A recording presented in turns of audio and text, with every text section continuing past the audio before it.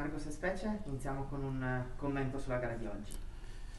È una gara molto equilibrata, sapevamo che, che non sarebbe stata facile e l'avevamo preparata magari in un modo diverso di, di come siamo abituati di solito. E siamo riusciti ad andare in vantaggio e nonostante dopo essere rimasti in 10 abbiamo avuto anche qualche occasione per poterla chiudere.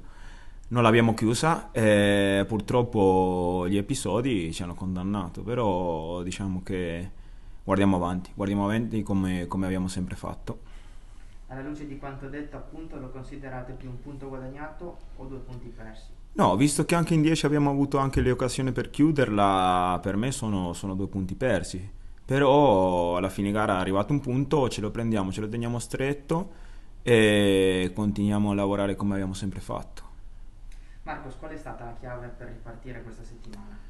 Ma noi siamo una squadra che, che ha grande consapevolezza, no? crede molto nei, nei, propri mezzi, sa che alla base di tutto ci deve essere il, del lavoro ed è così che abbiamo affrontato la settimana, eh? partendo dal lavoro, il lavoro ti dà, ti dà fiducia, ti dà consapevolezza e, e come ho detto prima bisogna guardare sempre avanti la sconfitta di Lecce, quindi eh, collegandosi, non ha cambiato nulla insomma, nella vostra mentalità, nel vostro modo di giocare? No, nella nostra mentalità assolutamente no, ci ha lasciato degli insegnamenti, questo senz'altro, no? perché prendere sette gol, eh, anche se Lecce fa male, però come, come ho detto anche prima, cioè, partiamo dalla, dalla nostra grande consapevolezza, sappiamo che è un campionato duro, che dobbiamo lavorare tanto e, e appunto prendiamo appunto di, di, di, del risultato di Lecce, impariamo e continuiamo avanti.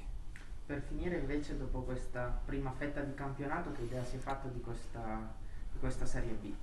Penso che la Serie B sia un campionato molto equilibrato, eh? cioè, ma si vede, non c'è bisogno che io lo dica. Eh e che avendo così tante gare ravvicinate bisogna essere in grado subito di, di azzerare e ripartire più forte di prima, no? perché poi alla fine è questo quello che ti porta de, dei vantaggi o, o ti porta a raggiungere gli obiettivi prefissati.